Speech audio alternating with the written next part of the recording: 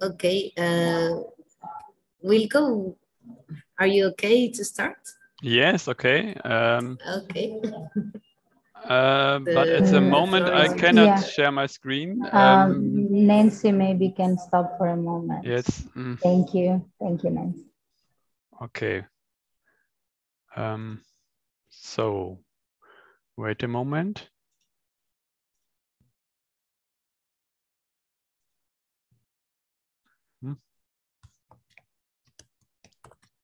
Can you see the slides? Yes. Huh? Okay.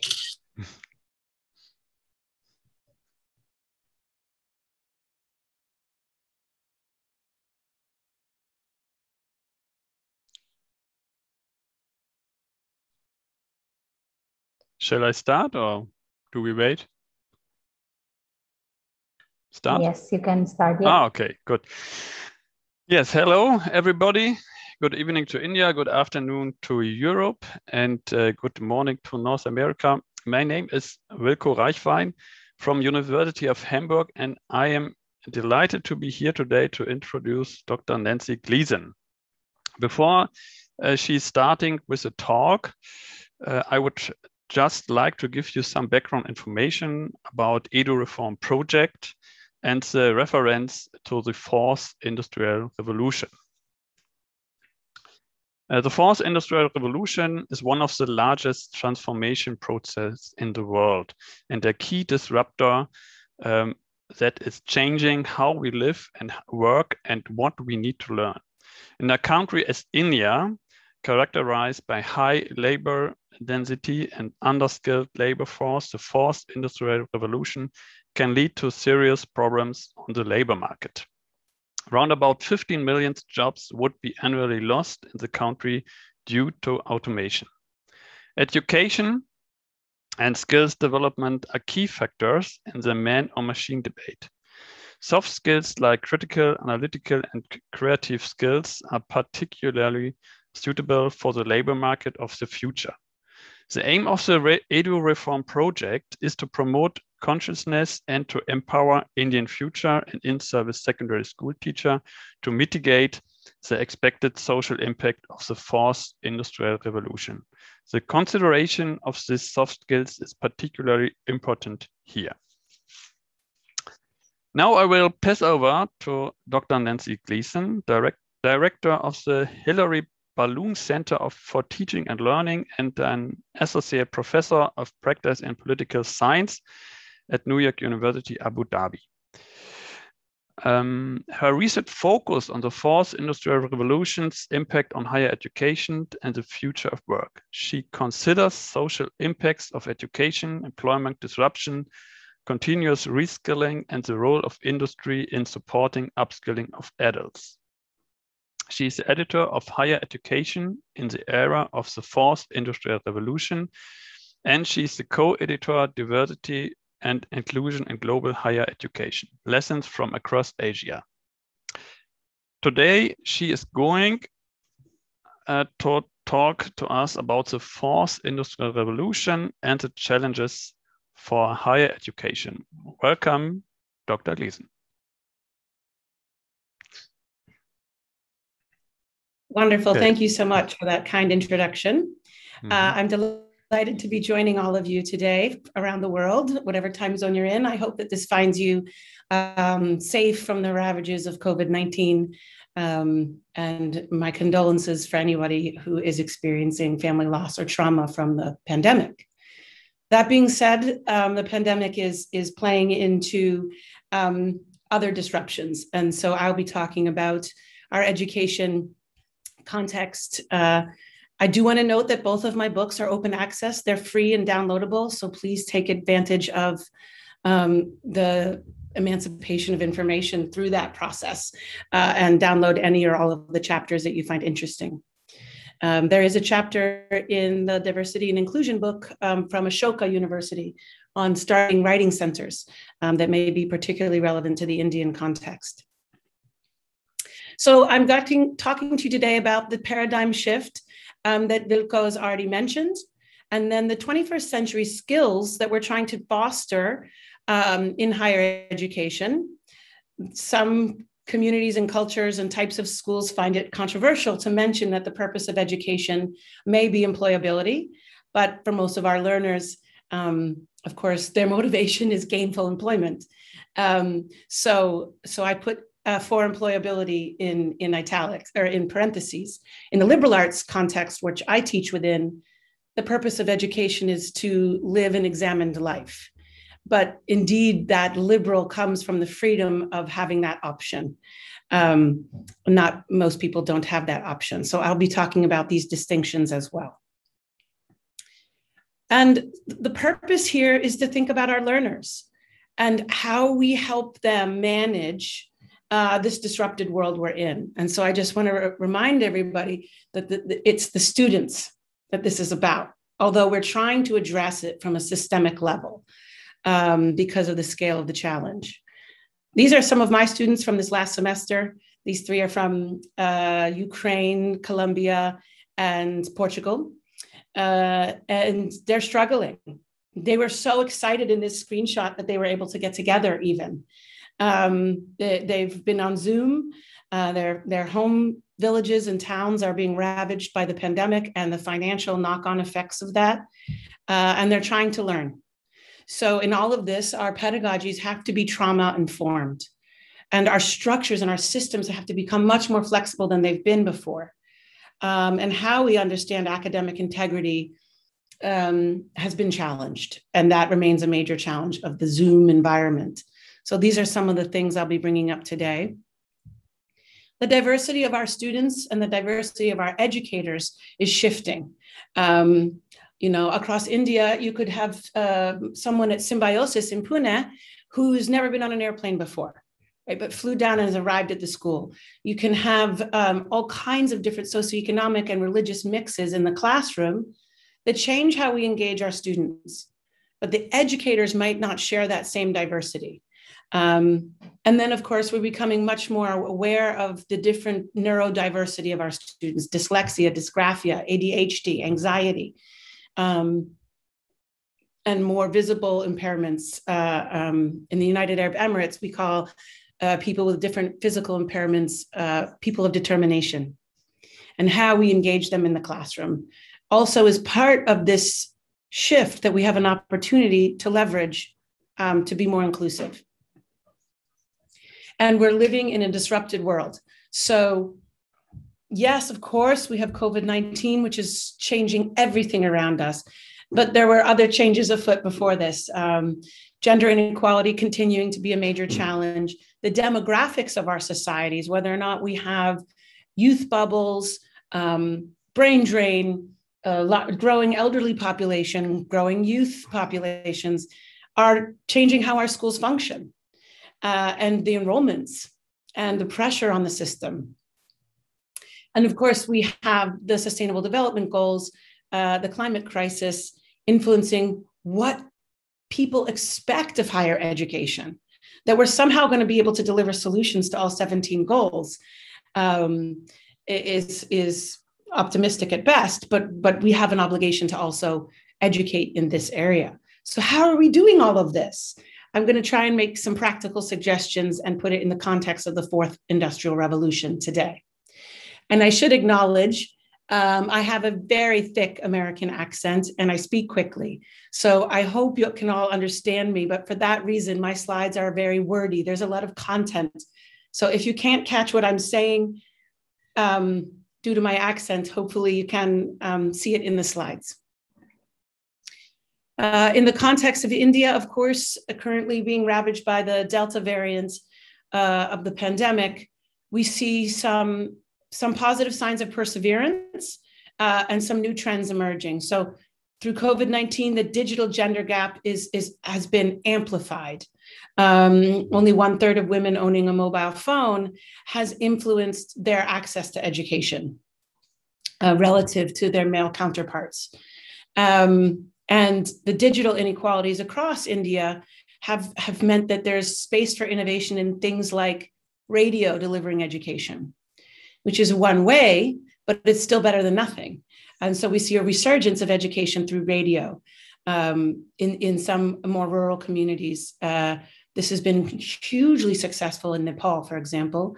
Um, uh, but you need you need to have uh, solar powered radios distributed for that to work. Uh, but smartphones are are helping in the gender divide in in COVID nineteen, as studies from the World Economic Forum has recently uh, shown. And so I think as we we're still deep in the middle of this. When we emerge, whenever that is, I think probably two more years uh, from the pandemic uh, globally, we'll see, I think, that the role of smartphones in education has become hugely important. But we have this fourth industrial revolution, which is rolling out unevenly across the world, and interestingly in India in particular. Um, we had a, a, brief introduction to what it is. Uh, I will elaborate on that here briefly. Essentially, it's made up of eight main technologies artificial intelligence, augmented reality, blockchain, also known as distributed ledger technology, drones, the Internet of Things, robotics, virtual reality, and 3D printing, also known as additive manufacturing. On their own, these are interesting technologies, but when you combine them, they are completely altering how we engage with each other and the planet. Um, when we have 5G network capability in our cell phones, um, these will all be amplified substantially. So, and same with soft haptics, uh, which is touch based um, technological capabilities. Right now, we don't have much uh, access to soft haptics because we don't have the 5G network. But the bandwidth that's enabled by 5G networks will enable these other technologies to become um, much more of a daily way of life. Uh, and the bandwidth capability of your phone will be whether or not you're excluded from the fourth industrial revolution. Um, and we, we are ways off from quantum computing, but when we get there, it will change all of these technologies. It will amplify them in ways that our brains don't quite understand yet. Um, and that when it comes will be immediate, but we just don't know when it's going to come. Um, I know this is a tiny infographic and you can't see it, but I want to walk you through it.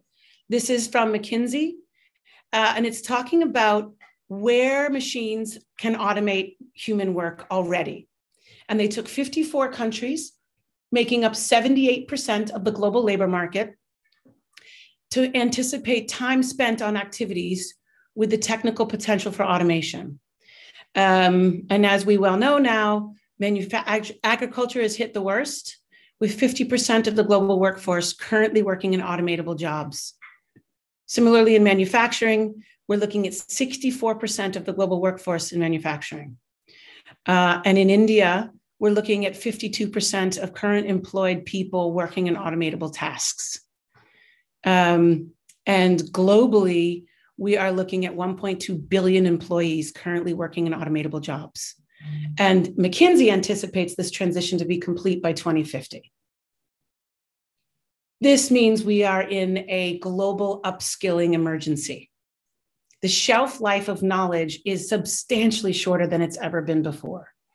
Universities have to play a role in reskilling adults and creating new jobs, new types of industry. So, one of the things I've been writing on recently is the likelihood due to COVID 19 that we will all switch to a four day work week. Spain's already announced trials on this, Scotland and Wales have committed to it. Uh, and it will slowly roll out through probably organized labor in some countries but you work a 32 hour work week. You don't condense a 45 hour work week into four days. You work less and you double the jobs when you do that. This has to be subsidized by the government and taxes. For the first time ever, we have economic growth without job growth. So, one of the ways governments can create jobs is mandate the four day work week. These are the kinds of schemes that governments and industry are going to have to agree to if we're going to have enough employability to maintain the social contracts we have where we pay taxes. We can do something different. We can have universal basic income. There's trials with that. But there's nothing else on the table at the scale of universal basic income that will help address this. Um, and so this is these are the kinds of shifts we see coming. They are scale level. Um, and so the skills we need to thrive and the skills we need higher education to be delivering are changing very fast. And faculty don't change fast. Systems in higher education do not change fast. COVID 19 has forced it. And for all of the horrible things it's ravaging on our families and our communities, it has shaken up higher education in exciting, positive ways. The skills that employers are demanding now have deconstructed jobs into tasks. So, as a professor, one of the main things I do today is grade. I verify knowledge by marking papers. I anticipate in 10 years I will no longer grade. That will be automated. I will spend the majority of my time giving feedback based on the grade, which is what we should be doing. But most faculty members identify themselves as their biggest time consumption is grading. But that task will go away, it will be automated. It will be the feedback that's nuanced and individualized. And, and so thinking about what you do that consumes most of your time that you probably shouldn't be doing is what firms and governments are working on now. These are huge cultural shifts. They're not easy to roll out, but this is what firms are working on. Uh, many of you have seen these World Economic Forum schematics that show skills that are in demand trending up and down. Very controversial whether or not higher education should respond to such things and if it's responsible for doing so. But nonetheless, active learning and learning strategies is the number two most in demand skill you can have. And we don't teach our students to talk about their learning strategies. We don't teach them to be self directed learners, or we don't always articulate that. This is something we have to start doing in our classrooms, structurally in our schools. The K through 12 space does it, right? They'll have your small children come home and say, I'm an inquisitive learner or you know i have courage and they have these key buzzwords but we don't do it in higher education and we need to start doing it and we have to create these lifelong learners something we're all talking about because the shelf life of knowledge is shorter we need people to be lifelong learners that comes with being self-directed understanding your own learning strategies and understanding where you can get viable information from how knowledge is constructed, when it's fake or poor or manipulated data or unethical data, these kinds of things.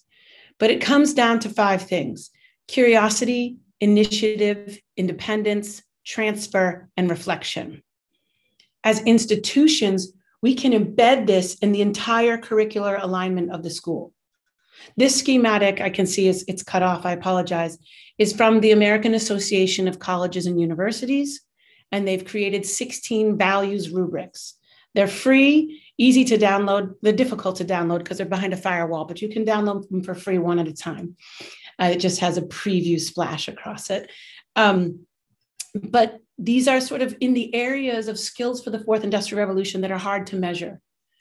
But I find these rubrics extremely useful for designing majors and programs within a university that have proper learning outcomes that align to program learning outcomes and institutional learning outcomes so that universities have that curricular alignment that adheres to your accreditation bodies which are already using these um, so you're both in compliance with your quality assurance national schemes and i know india has a brand new one that's baroque um, uh, or complex um, but it, it, no doubt includes these these uh, key things. And the transfer one is very important for the gig economy, which is taking, I'll read it out loud because I know the text is tiny for you, makes explicit references to previous learning and applies it in innovative ways to, to knowledge and skills that demonstrate comprehension and performance in novel situations. So you may be um, working a hotel shift in the morning when hotels have a large demand at breakfast. At lunchtime, you're a substitute math teacher for two year old for second graders, and at dinner, you're a violin instructor for kids after school. So you need to be able to transfer those three unique gigging skills uh, across each other. What can one make you better at the others? Or if you're a more of a, in a professional context, you may have a different job 18, every 18 months, a different employer, a different career trajectory. You may be in marketing and then sales and then dentistry and then nursing. So you need to know how to transfer skills over, over experience, and you need to articulate that to an employer. Um, similarly, we know we have to have global learning. Uh, and this, I know this is too tiny for you to see. I'll go to the next slide and, and elevate the criteria. But just to say that the American Association of Colleges and Universities Global Learning Rubric is spectacular. It'll help you set goals for the university, for your staff, uh, and for your students on global self awareness, perspective taking, cultural diversity, uh, personal and social responsibility, understanding global systems. And so, this way, your students are better prepared for the disruptions of the fourth industrial revolution, where they, they, they, they understand how to seek out um, solutions at the global and local level for the scale of our disruptions. Um, and they'll be able to address better the, the actionable nodes within the complexity of what we're facing. Um, so, you know, people can throw up their hands and be overwhelmed by climate change, but we know there's action individuals and communities can take. So, being open minded helps you say, what are they doing over there in this other mountainous country or other mountainous region? Um, where you, you become geographically aware that there may be a community far away dealing with the exact same problem. Um, and so, this kind of uh, global mindedness is very important. Something my personal country really struggles with, uh, the United States. Um, and for faculty building this, you know, at the faculty level, having your centers for teaching and learning or who's ever responsible for, for professional development of your faculty, it's also helping them establish local and global relationships, just exactly like Edu Reform is doing, us on this call here, um, sharing ideas across institutions. Um, and then how do we navigate cultural and political differences in the classroom, in our curriculum, on our syllabi? How do we decenter the West um, and, and emphasize where we are and not teach school children Robert Frost talking about snow when they don't have snow where they live?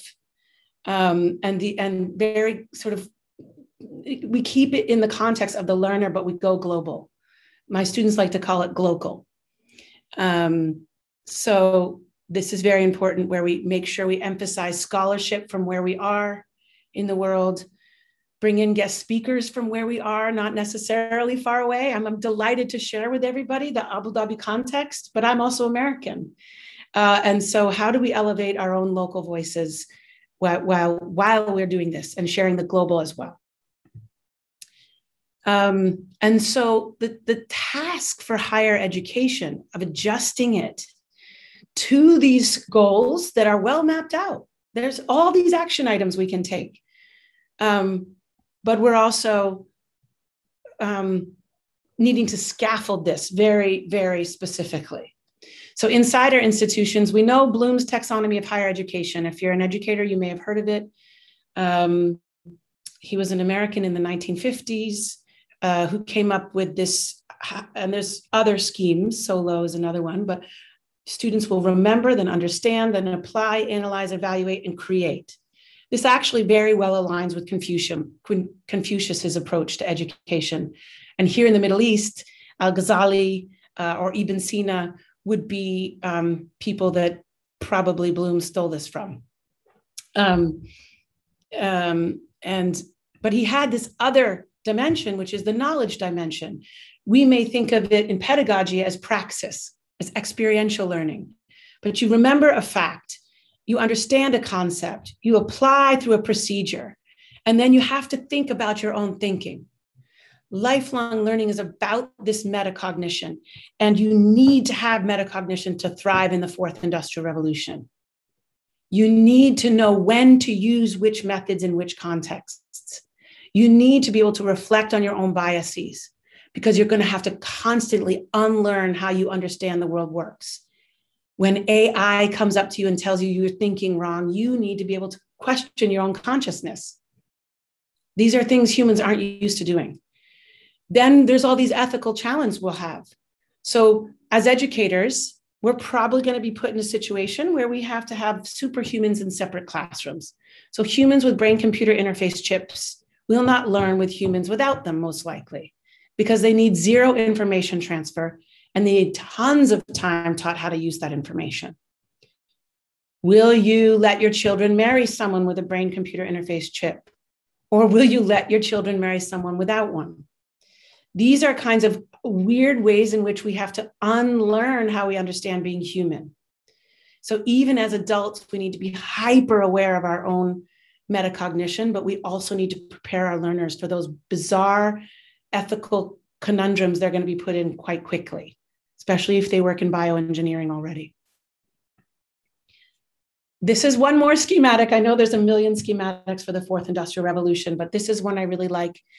This is from the Institute for the Future, and this is what Singapore has based skills skills future Singapore on. And now, just yesterday, for example, Philippines has announced their skills future schematic.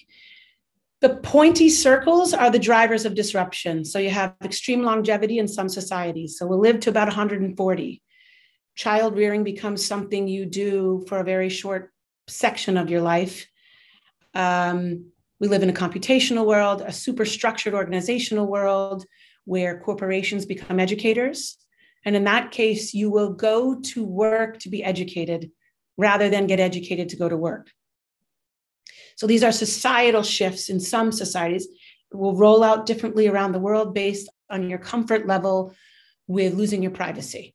Now, India has the Aadhaar Act, of course, very controversial, but biometricing 1.3 billion people is an example of these superstructures. Um, they, they don't have to be industry based, they can be governmental. Um, and they change how we're able to function. We go cashless, we confirm our education with our retina. Um, our birth certificates are in our are chipped in our arms. These kinds of things. And of course um, more individualistic societies will be the last to conform to these. And and more collectivist and centralized societies such as china will go first. Um, but this new media ecology is one i think or ecology depending on your pronunciation um, is one where i think higher education plays a particularly important role where we help students manage computational thinking and cognitive load management right? You can't take in new information for more than four hours a day without being physically and emotionally exhausted.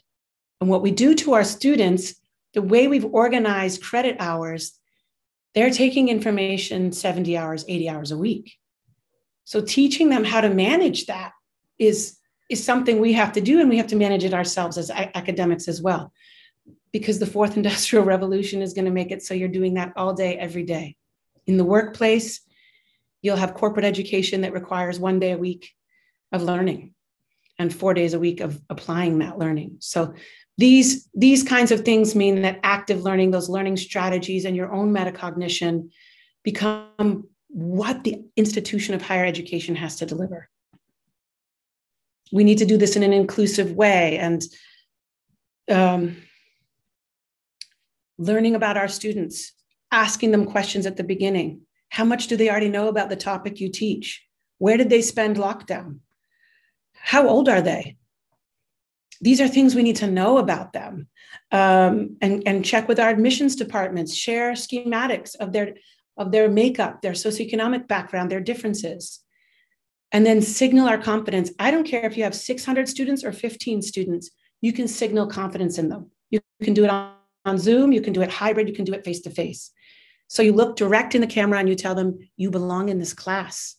I know half of you have imposter syndrome, but you belong in this class. M- many of our learners have never been told they belong in the classroom they're in. So just verbalizing that increases their ability to learn. Being extremely explicit with instructions matters so much more post COVID or during COVID or wherever we are, because students don't intuit the instructions, especially as the educators become more diverse vis a vis their learners. Um, as youth mobility has shut down because of COVID 19, the diversity of the educator has increased vis a vis the domestic makeup of the student. So I'm teaching 15 different countries of students. I they don't understand. I we don't have the same way to engage. So my instructions could be two or three pages long so that they know what the assignment is because there's no common language about how to give a class presentation, how to engage in peer feedback, how to complete an exam, what is academic integrity. There's no common understanding of those things when you diversify the student body. So being explicit helps them achieve these goals of metacognition. Of course, we know good pedagogy is pursuing different teaching techniques, but that's hard when we're tired. It's hard when we're in a pandemic. It's hard when you have a thousand students enrolled in your course. Um, but it's doable. Just change it up a little bit and tell them why. Um, and you'll get great results. And then for yourself, reflect and learn on what's happening. Unfortunately, that probably means reading really inefficient uh, course evaluations, but it is a place to start. You can always use the poll function in Zoom to check in on them. Um, you can use Mentimeter is free. You can use um, Poll Everywhere is free under 50 students. So just take a pulse check from the class. How many of them had lunch? I do that every day. My students, we have five minutes conversation about who's hungry and who isn't and why, and it makes a big difference. So that means you create high structure environments for them to get at these different types of learning goals that are not based on the content. Um, they're based on what they do with the content. Still need content, right? Now, curiosity rises in tandem with knowledge. If they have no content, there's nothing to do with it. So you still need to lecture now and again. That's great. Let them know that that is a moment for them to turn off their cameras and listen. Um, but then they need time to do something with that content. So, just two examples of what you can do, whether you're an administrator or anything else. These are for small group discussion. So, this might be a breakout room, and you can do this with your staff, your faculty, if you run faculty meetings, and you can do this with your learners. But a brainstorming session, and you can do this in a hybrid classroom with a Google Doc. Uh, you can certainly do this face to face if you have a chalkboard or a whiteboard, uh, and it works great for breakout rooms.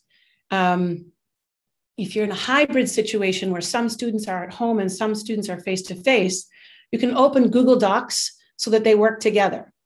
Um, and then you, as the teacher, can monitor the, the Google classrooms, the, the Google documents, um, and see what they're brainstorming.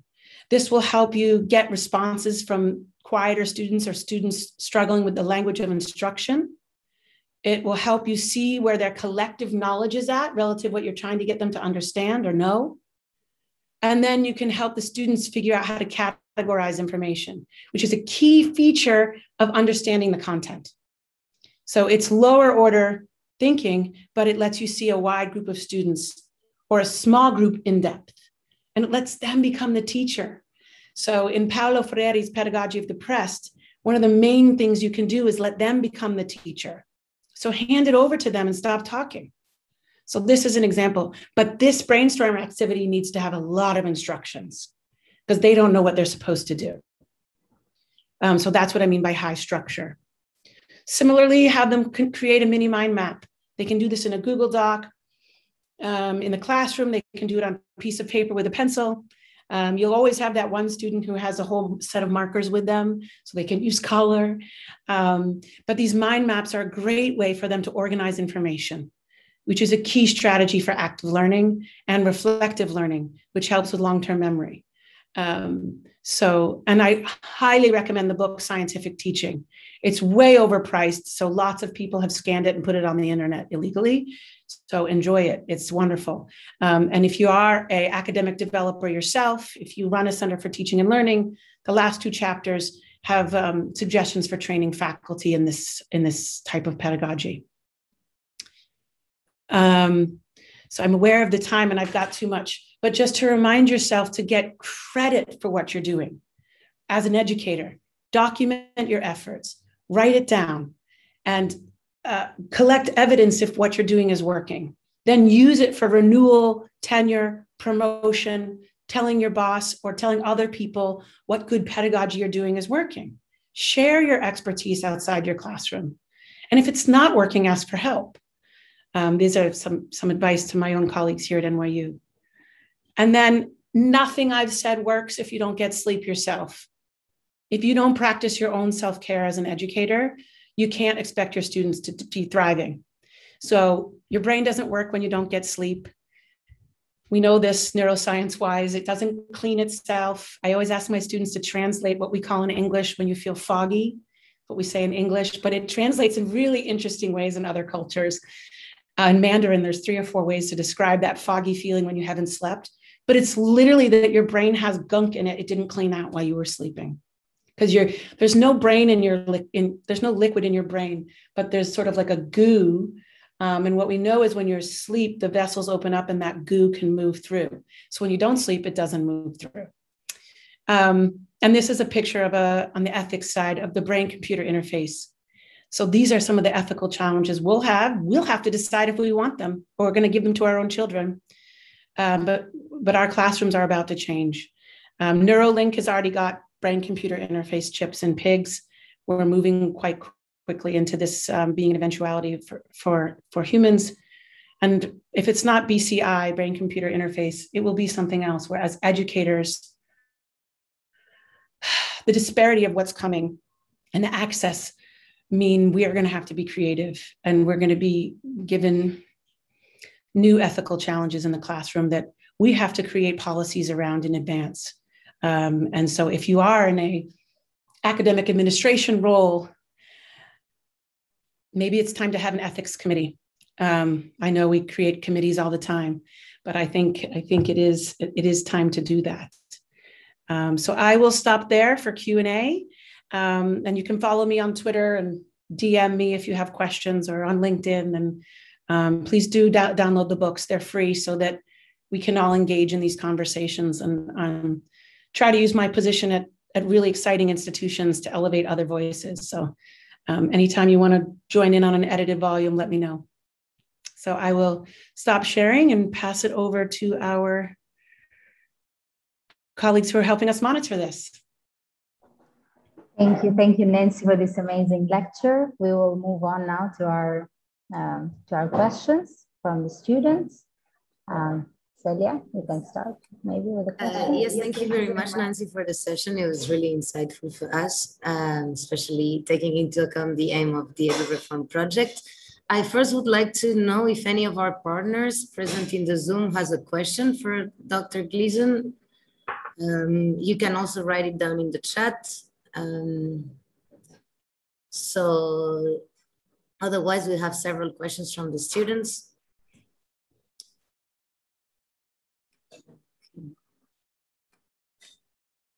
Okay. Um, maybe I can start with a question from one of our students. Um, they want to know how can school teachers be empowered in the rural areas of India? This is an excellent question. So I think as a student, you can also help empower your educators. Um, and so tell them what you need if if it's okay to do so if they could um, share their lectures on a podcast so there's it's easier for you to stream in your home it's less bandwidth how can they increase access if you're using paper um, could they um, take screenshots of it and share it with you on whatsapp so you don't have to print it out so there's ways in which we can can use technology to in, innovate um, without increasing the need for more bandwidth um, and expensive data plans. Um, but I really do think one of the things they could do is get a radio show. Um, they're very easy to set up and they can share free with anybody. You don't have to be enrolled in the school in that case. Um, and you can help them design those activities. So you can ask for an assignment where you create the assignment. Um, and then the educators can um, share that out, uh, use that again and again. So in my classes, I have my students become the teachers. Um, and so helping them learn that it's okay to be a facilitator and a coach instead of a lecturer. Um, and letting them know that you find that exciting in a respectful way um, is, is, is one of the things you can do. Hmm. Definitely. I think in this digital world, students have a role to play also to help out their their educators. So we have another question. Um, there was a question, a student asking that all that you have explained to us today, how can these differ for private and for government teachers? Can we spot a difference? Yes, there is a difference. There is, um, in part because of salary, but also in terms of pressure for corruption uh, in in the in the um, academic in, in academic integrity space. The pressure to purchase grades um, is high.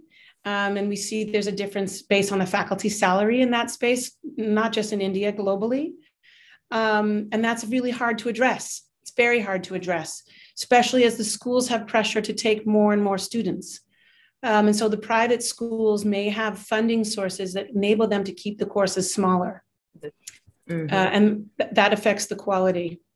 Um, but um, the private schools also are more prone to corruption in the accreditation process. Um, and so they might not be delivering the quality that the public schools are delivering because the public schools are held to more rigorous um, accreditation and quality assurance checks than the private schools in some countries. Um, and so there, those are some of the differences. Actually, we have an, the next question that is related to what you just said. So it's from another attendee. He wonders how do structural changes in higher education create more diversity in countries where education is mainly private? Won't this create a bigger gap? Mm, mm. Yeah, there's a wonderful professor named Teboho Moja, M O J A, and she writes, up, she's South African, she writes about what she calls rhetorical equity which is that we give a lot of lip service to equity in the but that the structures are so uh, inequitable. So she uses the metaphor. She says, trying to fix equity in South African education is like trying to unscramble an egg, um, which is sort of a sad, sad realization. But the, the structures of apartheid have just been so brutally exclusive, exclusionary mm-hmm. that it's difficult to undo. That being said, the structures are one of the ways in which we have to do this. And it's one of the exciting things about the fourth industrial revolution. We may be able to just leapfrog some of the negativity that the previous industrial revolutions embedded in the West um, mm-hmm. and just go right to a more equitable world. Uh, in, the, in, in access by creating structures, for example, where education is high quality and free through Zoom, right? Now, we thought that MOOCs, for example, massive open online courses, would um, um, democratize education or, or, create it for everyone.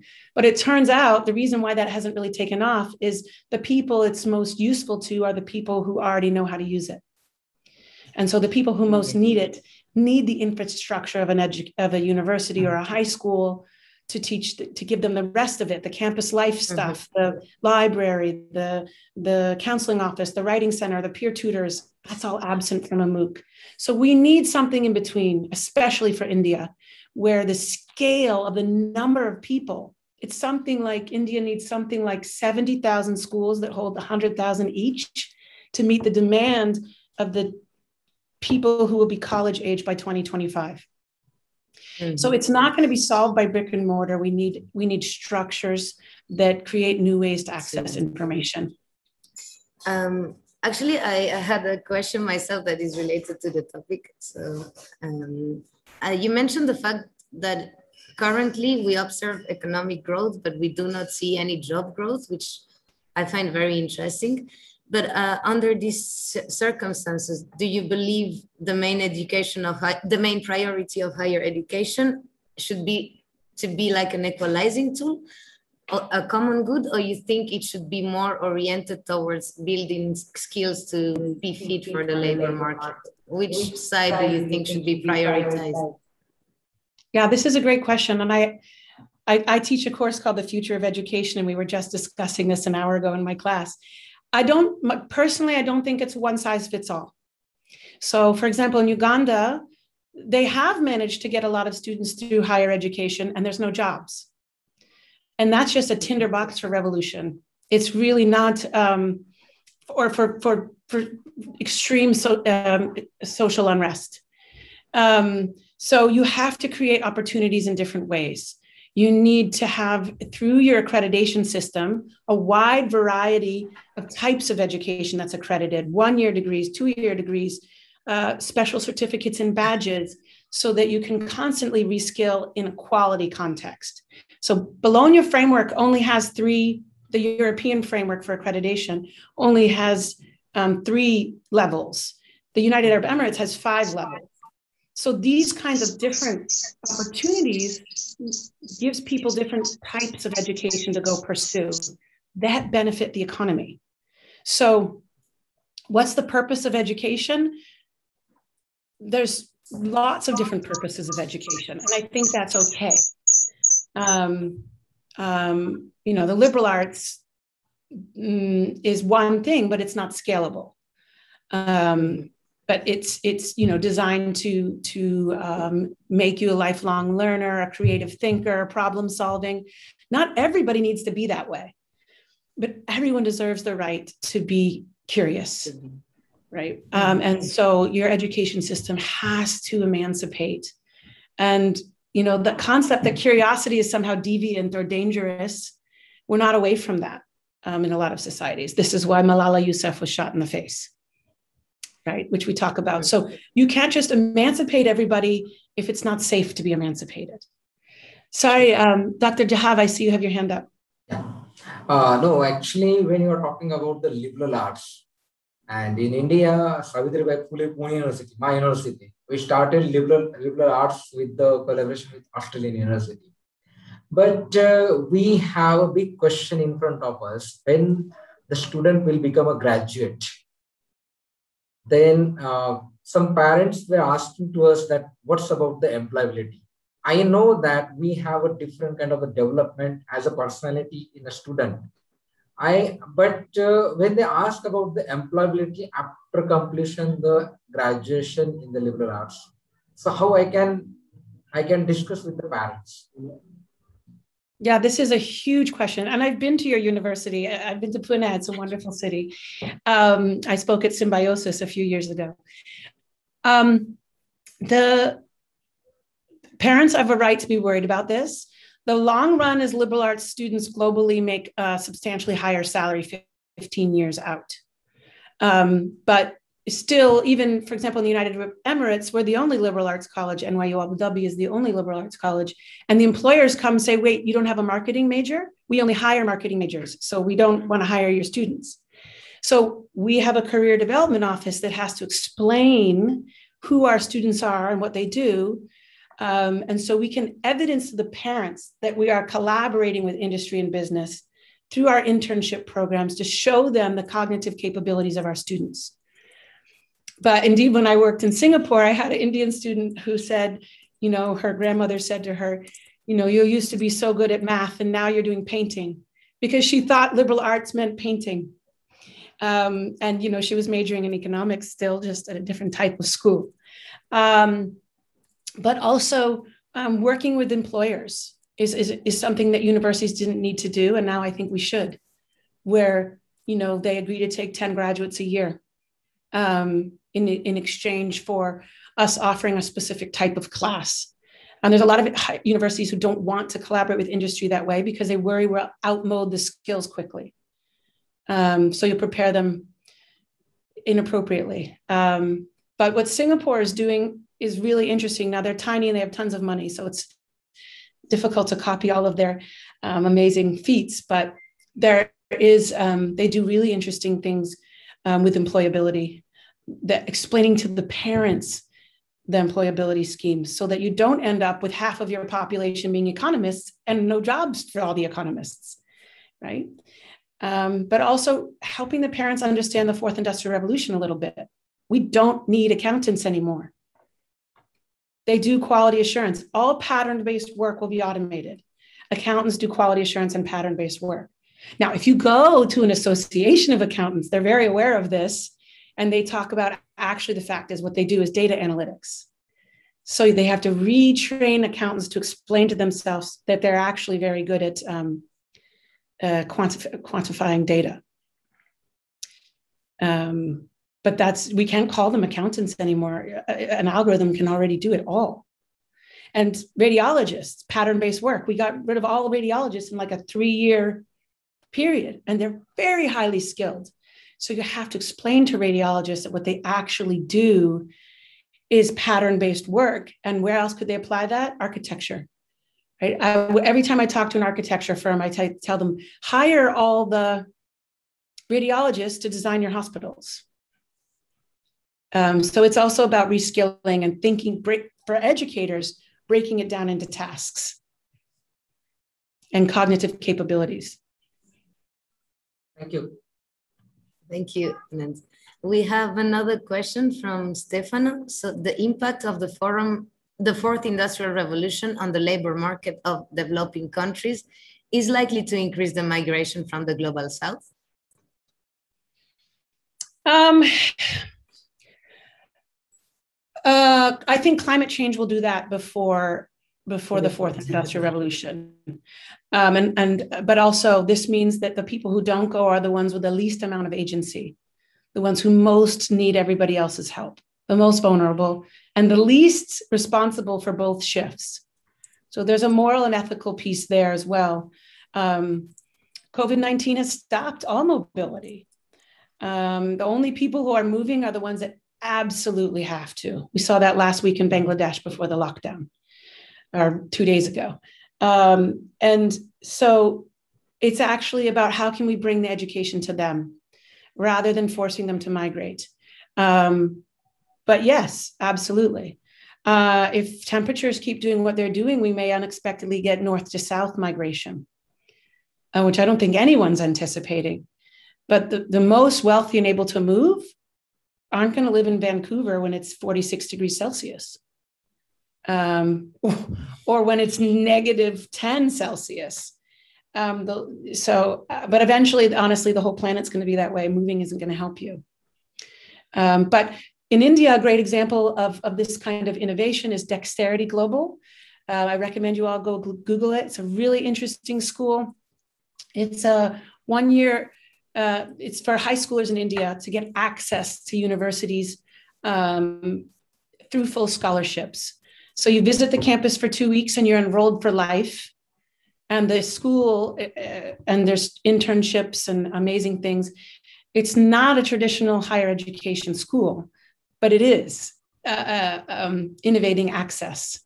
Uh, and their metrics of success is the amount of dollars of scholarships that their students receive. Mm those are the kinds of innovations where they're migrating, but then they're going to come back. Um, and they're enrolled in this school for life. Um, and the real trend in this space is ed tech. The largest ed tech firm in the world is GSV Ventures. And so they've backed Coursera, Bright Horizons, multi billion dollar unicorns in ed tech space.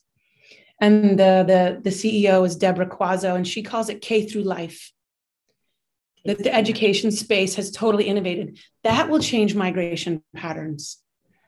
But I don't think it's going to be the jobs, it's going to be climate change.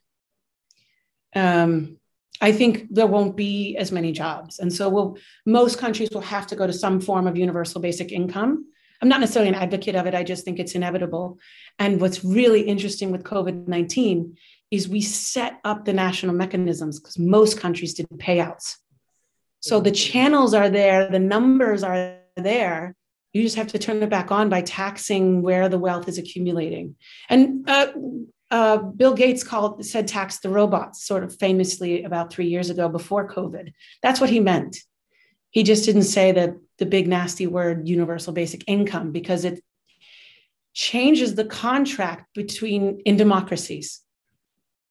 The money goes the other way. So the voting and the accountability of the state changes to its populace.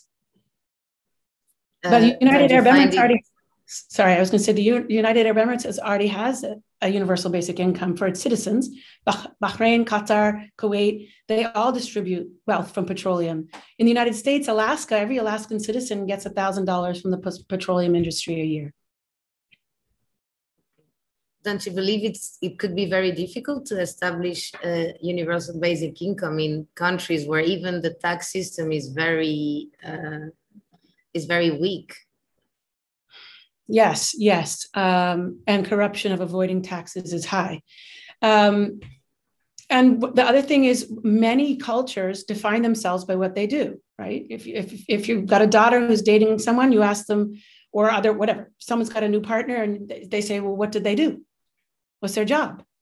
Right? That's mostly an individualistic society, it's not collectivist societies. Usually they would ask, you know, what's their faith or whatever, what's their ethnicity, what's their tribe.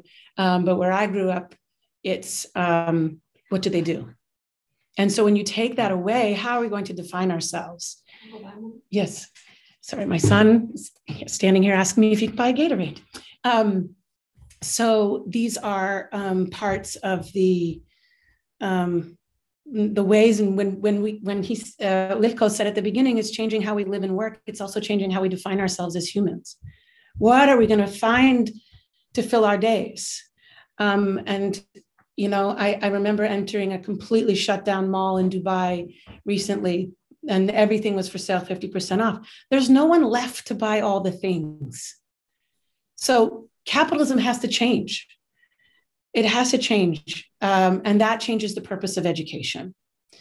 And many people have been saying capitalism has to change, but now the wealthy people are saying it too. Um, and this is uh, why COVID 19 demographics and the fourth industrial revolution are coming together at the same time. We can leverage that to solve the sustainable development goals, or we can slip further into um, what um, Sassen, who's an international relations expert, calls the brutality of exclusion. Okay, I don't know if there's a partner that has uh, any other question. I've actually uh, gone through all the YouTube questions from the students and other attendees. So if not, we I will give the floor to Vaibhav to, to conclude the session. Thank you, uh, Celia. Actually, really great evening in India because to uh, listen to Nancy, uh, because we heard a lot of about the fourth industrial revolution. But today, really, how it works with the higher education and teacher education also. So it's a great uh, my privilege to have been to ask to propose out of thanks. Because you know uh, uh, we have a long series every Friday we met and we had a discussion about different kind of tools and regarding this uh, project. But now I realize that it is a big responsibility to uh, as a teacher uh, in higher education, even in uh, teacher education, that how I incorporate all the 21st century skills among my learners. Because I, I want to nurture this philosophy and principles about these uh, skills. And this uh, session will be definitely helpful to all of us. When I, I think all of us and all those uh, uh, listeners from YouTube, they have a lot of questions, they have a lot of curiosity, and definitely they will read more and more about this uh, fourth industrial revolution and connection with the higher education. Because uh, in India, you know, you already mentioned about uh, the uh, users, yeah, it means uh, how the user of the devices in in comparison with the world. India is then the second on the rank. I think we are also in the second to using the social media and different small devices, for example, mobile and laptop and number of devices. India is also second in the world. So our young generation is quite uh, friendly with the devices, but how, how as a teacher, I will be used this kind of revolution for the teaching and learning. So really, I I am on the behalf of entire education edu reform team and all the partners of this edu reform teams. I'm really thank heartfelt thanks to you. We have a like namaskar. We have a very thank you, shukriya, because uh, I hope uh, all my learners will definitely utilize and all all the partners we are utilizing this session to making this project more clear and more fruitful again, I would like to thank to all of you.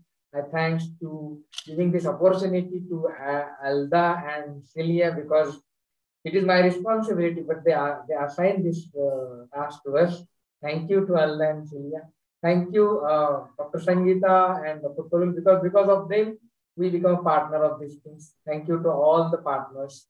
Thank you to all the listeners, those are uh, from uh, YouTube. All my students, I need to thank because they raised number of questions and Celia also uh, uh, fetching this question to the Nancy. So I thank you, Celia also. Thank you to one and all. Thank you very much. Celia. Thank you, everyone. Thank you, Vaibhav. Thank you, Dr. Gleason, and well, we'll keep you informed for our next events. And thank you again for this lecture. It's, it was uh, great for us. Great. Thanks, everyone. Stay safe. Thank you.